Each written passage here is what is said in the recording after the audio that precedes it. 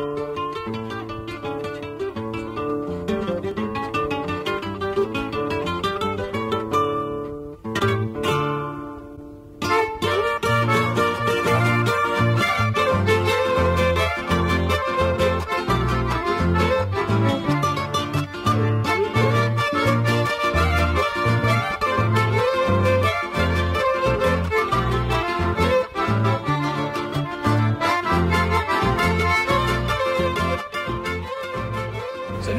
c'est Pierre-Luc, je suis étudiant en génie de la construction à l'ETS. Je m'appelle Simon Pierre Gagnon, je suis étudiant en génie de la production automatisée. Je m'appelle Frédéric Léveillé-Guillemette, euh, je suis un étudiant de dernière année en génie mécanique. Je m'appelle Anne-Claude Thériault, j'étudie en ingénierie euh, électrique. Je m'appelle Paul Maillotte, euh, j'étais étudiant en génie de la construction à l'ETS. Maintenant, je veux me spécialiser dans la construction écologique. Je m'appelle Marc-Antoine Meyer, J'étudie en génie mécanique. Donc, euh, vous allez bientôt entrer dans la première serre conçue et construite par les membres de Serre ETS. Serre ETS, c'est un club étudiant de l'École de technologie supérieure à Montréal qui appuie les projets en lien avec l'agriculture alternative. L'équipe de Serre ETS, c'est des étudiants et étudiantes dans tous les domaines du génie. Donc, euh, les crédits cherchaient des stagiaires ayant les compétences techniques pour fabriquer des serres solaires passives. C'était l'un de, leurs projets en lien avec les énergies renouvelables. Le Crédit a entendu parler de Serre ATS qui œuvrait dans la conception de serres solaires passives. Donc c'était un match parfait. La collaboration avec euh, l'université de, de, a commencé euh, durant l'hiver 2016 euh, pendant qu'on faisait la conception. Puis on était en mesure de nous donner quelques données du genre les températures à l'extérieur, l'humidité, la vitesse des vents. Avec les, données sur place qu'ils nous ont fournies, on était en mesure de prendre un modèle valide de données météorologiques pour faire les simulations énergétiques. Donc avec les différents modèles géométriques qu'on s'était proposés, on a fait une analyse de ces modèles-là avec un système de un logiciel de simulation énergétique pour voir en fait la charge de climatisation. Également la charge de chauffage, mais on s'est bien rendu compte qu'il n'y avait pas de chauffage à fournir euh, dans, une serre. Donc, ce qui était problématique, c'était la climatisation. Donc, la serre qui permettait de, rentrer le plus de lumière possible durant une journée, mais également qui avait la plus faible charge de climatisation, était le modèle le, plus optimal. Donc, il y avait un compromis à faire entre les deux, puisque plus on rentre de lumière dans une serre, plus on va augmenter la température et donc la charge de réfrigération. L'intérêt d'une serre euh, à Saint-Melchior, de la façon qu'on l'a compris avant de faire la conception, c'était surtout pour protéger de la poussière. Euh, ou des, euh, des, résidus dans l'air parce que l'air est quand même extrêmement pollué dans la région. Ils n'ont pas les mêmes normes au niveau de la, qualité de l'air ou des échappements des automobiles, puis au niveau des, du traitement des déchets non plus. Alors c'est pas rare de voir des gens brûler leurs déchets dans les rues. Dans le cadre du prototype, c'est vraiment pour optimiser le contrôle environnemental autour des plantes.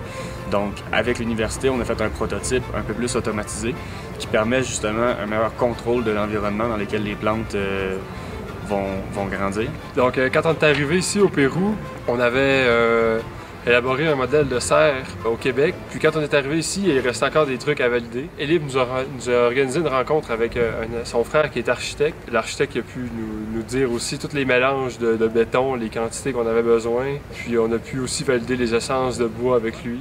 Ben, avant de partir, j'avais fait des plans AutoCAD. Finalement, vu que ça s'adresse comme à la communauté, puis c'est un peu technique les plans AutoCAD, euh, on s'est plus retourné vers SketchUp. Fait qu'on a monté le modèle au complet sur SketchUp.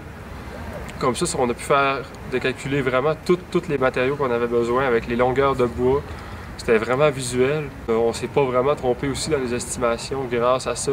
On a démarré avec délimiter le terrain. Après ça, on a, creusé les fondations. Euh, le sol était quand même très, très, très dur. Il a fallu. Euh, c'est pas comme au Québec, là, c'est avec euh, pic puis des pioches. On a coulé directement dans, la tranchée qu'on avait faite pour la, fondation.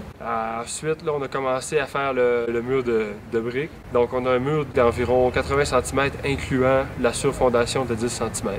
quand le mur était sec, on a commencé à ériger la, structure de bois. On a reçu le bois, on était un peu découragé parce que le bois était vraiment croche. Donc euh, souvent, c'était pas un camion qui venait euh, nous livrer euh, tous les matériaux, mais c'était des vieux véhicules qui étaient remplis vraiment à rabord. Donc c'était toujours drôle de voir ça arriver. C'était beaucoup de travail parce que les Le bois ici, c'est de l'eucalyptus, très, très, très dur.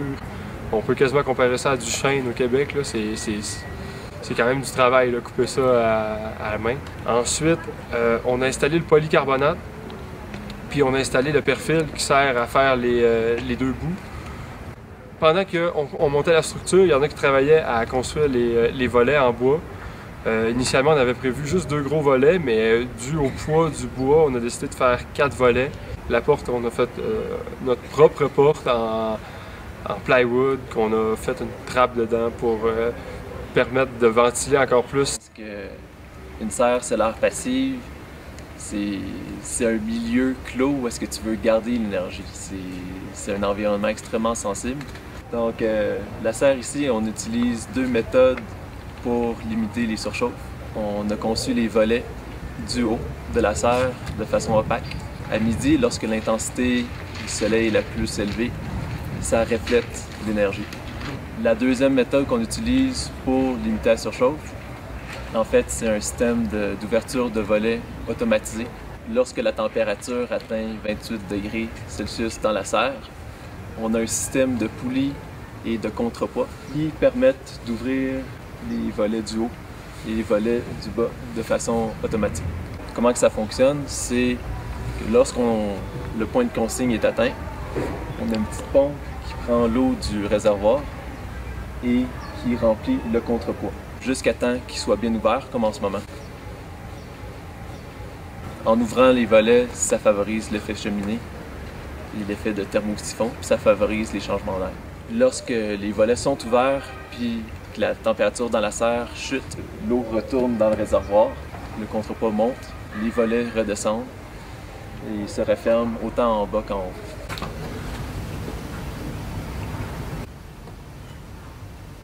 Ce qui est intéressant avec euh, les microcontrôleurs, dont le, Arduino, c'est que on a une technologie qui, euh, qui est disponible aujourd'hui et qui coûte très peu cher comparativement à euh, ce qui était disponible avant. Donc, on parle de seulement quelques dizaines de dollars versus des, dizaines de milliers de dollars. L'intérêt d'installer des, microcontrôleurs comme ça nous permet d'automatiser des, processus qui sont, qui, sont, qui sont importants. A euh, l'ouverture des volets qui est, qui est automatisée et le système d'arrosage qui est automatisé également. Donc, on n'a pas besoin d'intervention de personnes pour, euh, pour s'occuper de la serre. Euh, nous avons plusieurs capteurs différents un peu partout dans la serre. Donc, on a humidité intérieure, humidité extérieure, température ambiante intérieure et extérieure également. Et puis, on a 10 sondes de température réparties à divers endroits dans, dans la serre. De plus, on a des systèmes de relais qui activent euh, deux sortes de pompes différentes. Une pompe qui sert à ouvrir les volets et la pompe qui sert euh, à l'arrosage des, euh, des, plantes. À chaque 5 minutes, toutes les données de chaque senseur, de chaque capteur. Ça, c'est le système d'arrosage qui vient de partir automatiquement à 4 heures précises. Donc, on peut, on peut confirmer que ça fonctionne très bien. Sur le module de, collecte de données, on a une, carte SD euh, bien standard euh, de, de 4G qui nous permet d'obtenir les données qui sont récoltées du module à toutes les 5 minutes. Donc, euh, ça va permettre ça aux étudiants d'analyser le comportement de, la serre et le comportement de, la température, comment elle va changer avec le temps, et donc de faire un, profil qui, est- applicable à cette serre-ci, mais qui sera aussi euh, applicable à diverses serres dans le but de, les optimiser. Le, système de Riego, qui est en fait le, système d'arrosage euh, de la serre, euh, on avait pensé faire un système d'arrosage euh, bien spécifique à, la serre, avec des, euh, un système de, goutte à goutte. Et puis, euh, avec la construction de la serre, on s'est rendu compte qu'on on manquait de budget, on manquait d'argent pour, euh, pour installer tout le système. Ça s'avérait être plus complexe qu'on le croyait, dû à un manque de pression de, l'eau de la ville. Et puis, après discussion avec euh, les professeurs de l'université, même le recteur de l'université, on a eu euh, beaucoup d'ouverture de, leur part. Donc, ils ont décidé de, débloquer un certain budget pour installer, euh, la totale en, frais de, système d'arrosage. On a donc une, pompe ici de, de, de 0.8 HP et puis un système goutte à goutte complet avec une, une- un réservoir de 250 litres à l'extérieur pour s'assurer que jamais cette serre-là va, manquer d'eau.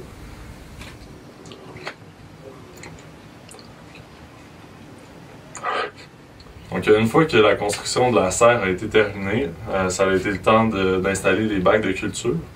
Donc, on a designé un aménagement qui pouvait maximiser la surface de culture des plantes. Alors, on a des corridors qui nous permettent d'accéder à des bacs d'environ 1 mètre de profondeur. La façon qu'on a fait les bacs de culture, c'est en madrier d'eucalyptus. Et euh, on a appris par la suite que l'eucalyptus euh, dégageait une huile qui peut être toxique pour les plantes ou qui peut nuire à leur croissance. Donc, euh, on a recouvert l'intérieur des bacs avec un plastique noir comme ça pour aussi empêcher la dégradation du bois et de la brique. Dès que euh, les bacs ont été installés, on les a tout de suite remplis de terre. Donc, on a mis un petit peu de gravel, ensuite euh, de la terre noire mélangée avec euh, de la terre qu'on avait creusée dans les fondations.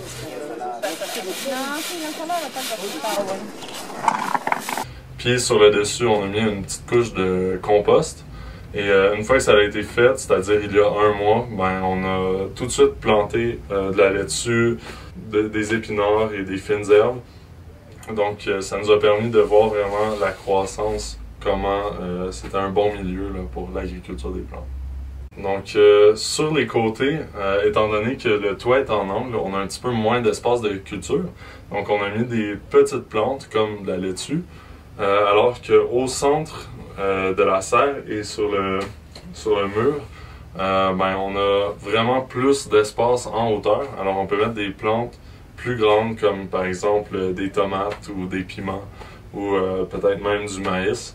Mais ça va vraiment appartenir là, aux étudiants en agriculture ici euh, de choisir les plantes qu'ils veulent tester et puis qu'ils veulent aménager à l'intérieur de la serre. estos intercambios.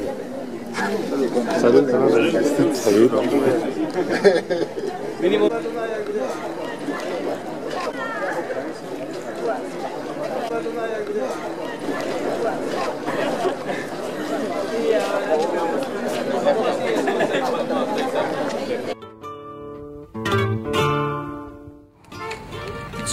les deux mois qu'on a été dans la ville d'Ayacucho euh, pour faire la construction de la serre prototype et des huit serres pour les familles, euh, on a tous vécu dans des familles d'accueil. Donc, euh, nous, les huit stagiaires et François, le coordinateur, on vivait dans neuf familles. Donc, ça nous a permis vraiment d'apprendre l'espagnol pendant qu'on vivait avec eux, puis de partager un petit peu la culture péruvienne dans notre mandat original, selon ce qu'on avait planifié, on voulait faire huit serres pareilles à la serre prototype qu'on a fait à l'université. Étant donné que faire la serre prototype, ça a pris quasiment un mois, c'est-à-dire la moitié du stage, on s'est rendu compte que ça allait être impossible de faire euh, sept autres serres identiques à la serre prototype. Au milieu du stage, on a dû complètement retourner à la table à dessin puis euh, sortir un nouveau modèle de serre qui serait beaucoup plus adapté aux besoins des familles. On a décidé de miniaturiser ça pour faire un petit peu comme des, cold frames. Euh, Il y a des familles aussi qui voulaient qu'on construise la serre sur le toit de leur maison. Euh, Dans deux des maisons, on a dû construire des échelles pour pouvoir transporter les matériaux et que par la suite, les familles puissent accéder aux serres facilement.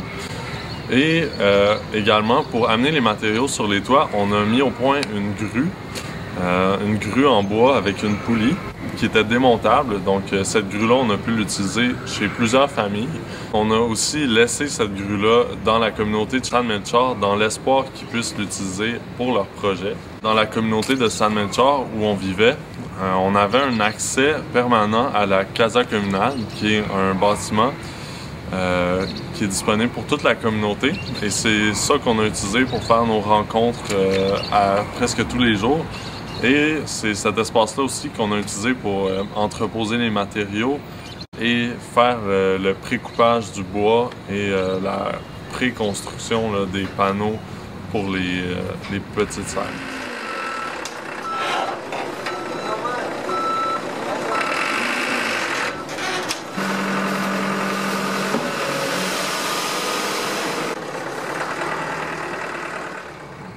Donc pour les cold frames, c'était des murs de, béton remplis de bouteilles de sable. On a pris des, bouteilles de 1,5 litres qu'on a remplies de sable compacté pour diminuer le volume de béton. Pour les, terrains directement au sol, on a nivelé le sol puis on a érigé le mur de 40 cm. Puis pour les toits, on a, commencé à construire directement sur, euh, sur le toit en prenant soin de placer un, un drain pour euh, pouvoir permettre l'égouttement de l'eau. Puis parallèlement à ça, il y en a qui ont tout coupé le bois des structures de, des structures cold frames. Donc c'était comme un peu du préfab si on veut. Pour faire la cimentation, on a mis au point un système de coffrage modulable qu'on a recouvert d'une pellicule de plastique. Ça nous a permis de réutiliser le même coffrage pour les huit serres.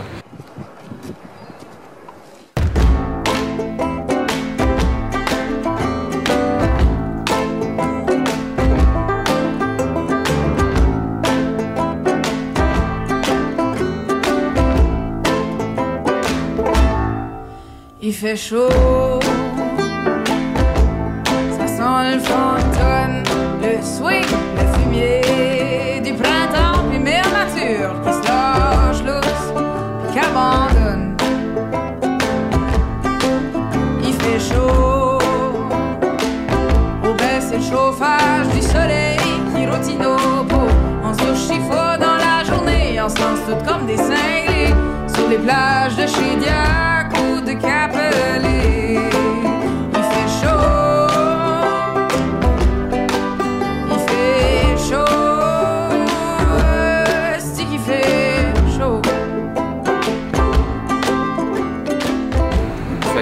une fois que le- les, murs ont été, ils ont été secs pendant à peu près euh, une semaine, ils ont séché à peu près pendant une semaine, on décoffrait le, le coffrage qui était euh, un coffrage qui pouvait être modulable.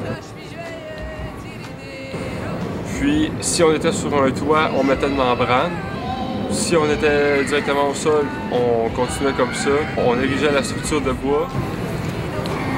On se met une nouvelle couche de peinture après que l'hiver nous a détendus. Il fait chaud. Il fait chaud. C'est qu'il fait chaud? Euh, on plaçait les, euh, les deux grands volets. Ensuite, on plaçait les deux petits volets de bois.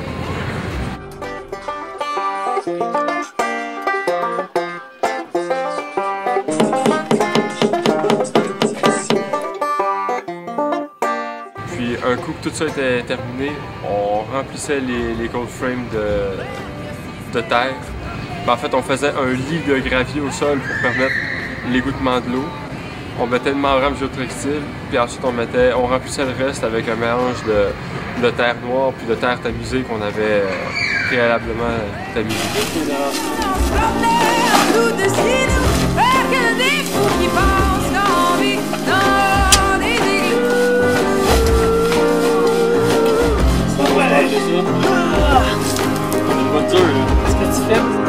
Il fait.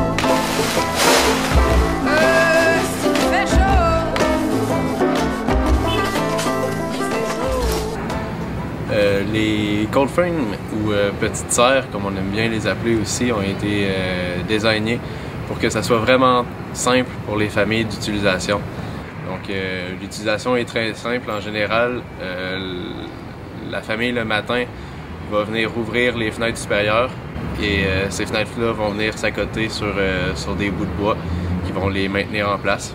Puis les panneaux qui sont inférieurs demeurent euh, eux fermés. Euh, on va les ouvrir simplement pour euh, aller faire la cueillette ou la plantation des, des, aliments à l'intérieur de la serre. Le système d'arrosage de, ces petites serres-là est également très simple aussi. On a un réservoir de, de 30 litres juste à côté de la petite serre. Et l'alimentation de, ce, de ce réservoir-là est raccordée pour la plupart des, des gens sur le- l'alimentation d'eau. Donc on a simplement besoin d'ouvrir euh, la valve d'alimentation d'eau pendant un certain nombre de minutes, juste à temps qu'on voit l'eau sortir par un, un petit trou sur le réservoir. Donc ça nous indique qu'on a exactement la bonne quantité d'eau. Et puis par la suite, l'eau va tranquillement s'évider dans, euh, dans les petits tubes qu'on a à l'intérieur de la serre. Donc c'est un système d'arrosage goutte à goutte avec des, des tubes souples perforés qui vont sointer tranquillement tout le contenu du, du réservoir de, de, 30 litres à l'intérieur de la petite serre. Tout comme dans la serre de l'université, on a installé des modules de collecte de données dans ces petites serres-là, avec euh, évidemment un peu moins de, capteurs, mais tout de même, on a euh, une température du sol et les, humidités intérieures, extérieures, température intérieure, extérieure, ambiante de, des serres. Et euh, moi, personnellement, j'ai installé un seul module, mais je suis confiant que les autres modules seront installés par mon, mon compagnon Yon qui est devenu d'ailleurs un, bon ami. Euh, donc, euh, il va pouvoir continuer la maintenance et l'installation de ces modules-là, ainsi que faire la cueillette de données à tous les mois euh, pour les étudiants de, l'université également, mais aussi pour nous, étant donné qu'on va rester en contact avec Yon et, les autres étudiants, aussi pour le, club CRETS pour, pour fin d'analyse de, ces données-là et de perfection ensuite du modèle de, Petite Sœur les choses qu'on devait accomplir pour le stage Québec sans frontières, nous devions aussi donner des cours de français et des cours d'anglais pour les enfants chaque samedi, une heure. L'année passée, les stagiaires ont décidé de faire des jeux.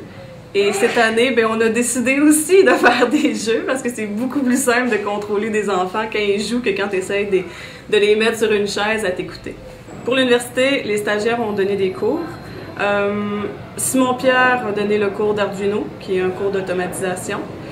Marc-Antoine a donné le cours de Red Screen, qui est un cours pour euh, voir la, potentialité des panneaux solaires. Frédéric a donné le cours de, simulation énergétique, qui s'appelle Énergie Plus. On a dû faire deux collectes de déchets. Et ceci consiste à un samedi matin à avoir des enfants que tu leur donnes des sacs et des gants et qui marchent dans la rue avec toi pour prendre des déchets pour nettoyer. Donc, euh, ce qui est bien, c'est que les enfants participent. Après, il y a des bonbons. Euh, donc, euh, tout le monde est content. Il faut juste s'assurer qu'il y ait un sac pour qu'ils puissent mettre leur papier de bonbons, sinon on va les retrouver par terre. Et ce qui est malheureux, par exemple, c'est le lendemain, la même rue que tu as nettoyée, elle va être encore sale. Mais il faut voir ça à une longue perspective, à une perspective de, de quelques années pour que les enfants avec qui tu travailles vont devenir grands et ces enfants-là risquent de ne pas jeter forcément leurs déchets dans la rue. Donc, euh, euh, on a dû faire une belle peinture murale. Dans le bas de, la murale, on voit, euh, on voit des, des, choses, des choses du Pérou. Et dans le, dans, dans le haut, qui est en fait le nord, on pourrait dire, on a mis en envers des choses du Québec. Là, ça fait bientôt deux ans que je suis dans le comité CRETS et je dirais que c'est ce qui motive le plus mes études et mes projets pour l'instant. C'est les projets que je suis capable de développer avec CRETS, dont ce partenariat qu'on a développé depuis, euh, depuis l'été 2015, en fait, qu'on travaille à le développer, puis qu'on veut garder encore pour les, euh, les trois prochaines années. Il y a d'autres projets qui s'en viennent avec le crédit. On veut garder ce partenariat-là, puis on veut en développer d'autres aussi. Il y a des projets intéressants avec les professeurs ici faut pas s'attendre à ce que quand on vient ici, on, on, a des standards nord-américains de nos matériaux qui sont super beaux, super droits, euh, ça va bien, on a des, des vis qui vissent bien. Ça, paraît niaiseux, mais ici, les têtes de vis peuvent casser à tout moment. Euh, je veux dire, le, bois, il est croche, euh, faut faire avec, c'est vraiment différent. tu peux, tu peux commander un 1 par 4, puis ça se peut qu'il arrive avec 3 pouces d'un bout, puis 5 pouces à l'autre bout. Puis, ben, faut que tu fasses avec sur, le chantier, puis faut pas se décourager avec les, ces, épreuves-là. Là, ça fait juste comme. Faut, faut travailler puis essayer de faire avec les matériaux qu'on a. Ça, fait, partie du stage. Ça, fait partie de l'expérience péruvienne. C'était à la péruvienne, c'était belle fun. Ce qui est vraiment intéressant avec un projet concret comme le projet du Pérou, c'est qu'on passe de la théorie puis on va à la pratique. Puis on a toujours des surprises quand on arrive à la pratique sur le terrain. Puis je pense que c'est ça qui a été vraiment pertinent avec le projet. J'aimerais, vraiment que les étudiants comme, euh, comme Yann et euh, comme Yennefer euh, prennent en main le, le, le, système qu'on a installé ici d'automatisation. Je crois que c'est un beau système. Et en ce moment, il, est peut-être pas parfait, Mais c'est justement pour ça que, que, que, j'ai donné un cours, que j'ai montré, que j'ai passé du temps avec ces gens-là, à leur montrer comment ça fonctionne. Donc euh, j'aimerais vraiment beaucoup qu'ils qui, qui prennent en main le tout, qui, qui perfectionnent de façon continue le, programme pour, euh, pour obtenir une, serre qui est vraiment, vraiment intelligente à la fin, vraiment efficace. Ce qui a été intéressant, je trouve, dans le projet, ça a été l'implication des étudiants euh, de l'université de la Hunch. Donc, les premiers jours de construction, quand on a creusé les fondations, on a eu une vingtaine d'étudiants qui sont venus nous aider. Donc, euh, ça a été vraiment rapide pour déplacer les matériaux, pour creuser, pour euh, même faire le mélange de béton. Mais euh, au fil du temps, il y a eu de moins en moins d'étudiants qui se sont présentés pour venir nous aider. Mais on s'est quand même ramassé en fin de compte avec trois ou quatre étudiants qui étaient vraiment motivés à apprendre et à, travailler avec nous. Donc ça, ça a été vraiment intéressant de voir cette implication de leur, euh, cette implication là de leur part et euh, comment ils ont pu apprendre en même temps que nous de la construction du projet.